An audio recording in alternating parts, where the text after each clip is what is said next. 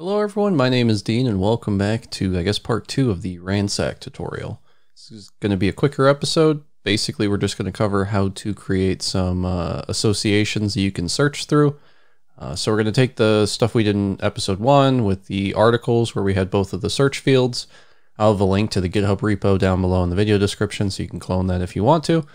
Uh, I'll also have a blog article with, uh, with all the code that we're covering today. But we're going to take that episode one stuff and we're just going to build on it. We're going to grab uh, the articles. We're going to say each article belongs to a category. category has many articles. Uh, and then we're just going to add the ability to search those categories basically. So it's pretty simple, pretty straightforward, but this can be a little bit confusing when you're first starting off with the Ransack gem. So I thought I'd make a video on it. But that's going to do it for me. Let's go ahead and let's jump into some code. Okay, as you can see here, we have the same setup we have last time with our little uh, searchable article content. So I can search for like, I can search through the body and maybe search for Dean, or I can search for, I don't know, some random string, maybe the word for. What about lore? Lore seems to appear a lot. I also have said over here, or I could search for like Dolores, see what, what this comes up with. And you can see it filters based on that, and that's all off of some seeded data that we have. So that's nice, but what I would like to have is a set of categories for these articles. So maybe I want to search for manga or journal articles or something like that.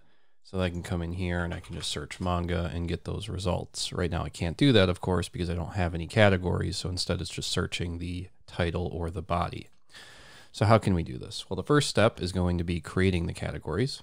So for that, we'll stop our Rails server, clear the console, uh, and then we just need to generate a scaffold. So for this, we'll just say Rails. Let me actually zoom in a little bit. Rails G scaffold. We'll give ourselves a categories scaffold, and we'll just give it a name. And that's going to default to type uh, string. So that'll work. And then what we can do is we can add this to our articles. So we'll say Rails G migration, add categories to, when I'm gonna actually full screen this because this is gonna get a little bigger. Add categories to articles, category colon references. And then we can run that. And that's going to add our one-to-many foreign key to our articles. Or I guess, yeah, our one-to-many because the article belongs to a category. So that's good.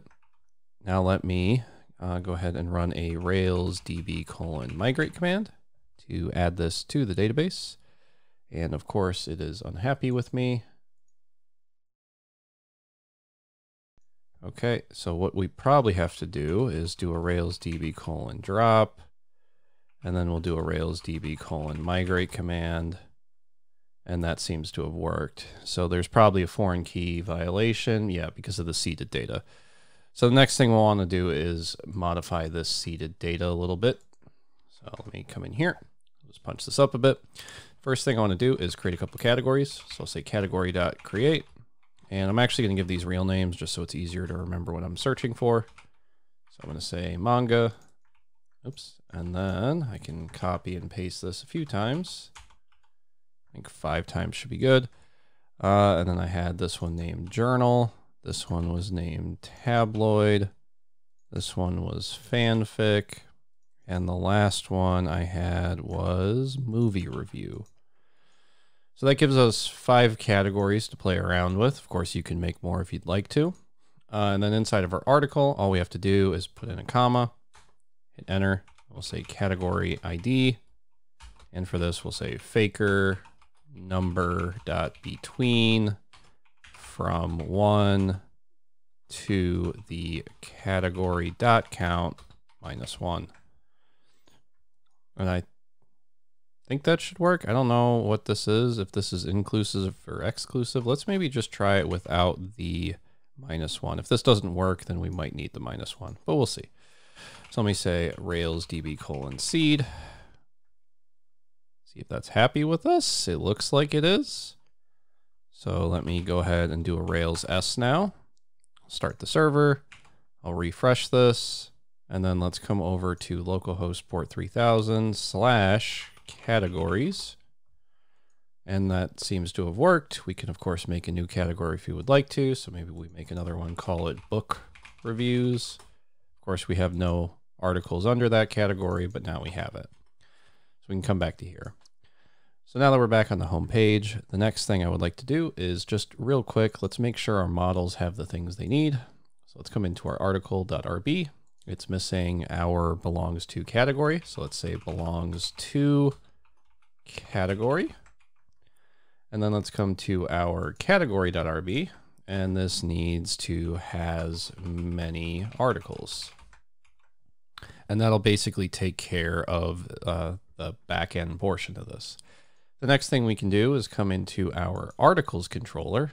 And from last time, if you'll remember, we have the at q equals article.ransack params q stuff, uh, which is from the ransack gem, of course. So both of these are required. And it basically just takes our parameters, runs ransack on the article, and then it grabs that query. And then it takes that query and says, give me the results of this query uh, with distinct set to true. And that's how it gets all of its articles. Now, the one thing we do have to add in here is we have to add our category ID. So we'll just come down here. We'll say colon category ID, save that, and that will take care of our controller. So after the controller, the next thing we can do is we can come into our views, articles, and I guess we can come into the index page. Maybe we'll do this in a bit of a different order. So we have our title and our article content. Maybe before this, we want to have another TH. And maybe we want this TH to have another sort link. We'll say at Q. This time we'll give it a category name. And this is some magic that Ransack deals with. So uh, although our article, which we're ransacking in our controller, doesn't have a category name attached to it. It just has the category ID. This is smart enough to know that it's going to call, uh, let's say, at article.category.name whenever it sees uh, category underscore name. So that's why this works. It's just some under the hood magic, but that's basically what it's doing. And then after that, let's give it a default order again, and we'll just set this to ASC, and that should handle our category name. So now let's come down here. Let's do a TD. And for this, let's just say uh, article dot category dot name. So we're not smart enough to do this, but Ransack is. So down here, we have to actually do it manually, but Ransack, of course, knows what it's doing, which allows it to do that magic. So now if I refresh here, we should have our article or our uh, categories for our articles, which you can see here. So we do have a movie review, we have a fanfic, a tabloid, a journal, a manga, and then we can sort these hopefully, and it looks like that's working. So here it's going in reverse alphabetical order, and the other way is in alphabetical order. But now what happens if I want to search for a fanfic, I can't do that. So how do we search for fanfics? Because uh, that's obviously why you're all here. Uh, to do a search like that, what we have to do is come into well, first let's come into our form for our articles because I want to do a drop down so when we add a new article, we can we can uh, you know populate the category. So for this, I'll just give this a form.label of category. And then right below here, I'll say form.select, and I want to select the category ID. And then I'll just do a category dot all dot collect I don't know if this is the right way to do it. I'm sure someone in the comments knows a better way of doing this. Again, I'm not a full-time Rails developer. I am but a simple person who presses buttons in the right order sometimes. Uh, so we'll say category.name, and then we'll give it the category.id. I think that's basically all we need for that. Let me just scroll over on my notes. Looks like it is. We can save that, hopefully. We can click new article and I'll say, let's add a Naruto. We'll call it a manga and we'll say, I don't know, uh, ninjas and stuff. And then we'll hit create article. Article is created. So now our show page is missing something. So let's come into our show page and we'll just give this another P tag. Oops, P tag. And we'll just say strong category, strong and this needs a at article dot category dot name, something like that. Refresh. There we go. We now have our, our manga, and then we can of course search for manga. Uh, actually, we can't because I haven't set up that form yet. But what we can search for is hopefully Naruto, and that'll work. Or we could search for ninjas, and hopefully that'll also work, which it looks like it is. Okay, so now what I'd like to do is actually come into our search form and make it so I can search for mangas. Uh, that way it stops seeming like I'm just making this stuff up. So the way you can search for it, very simple, just like last time. We have our title or body uh, cont, which just means title or body contains.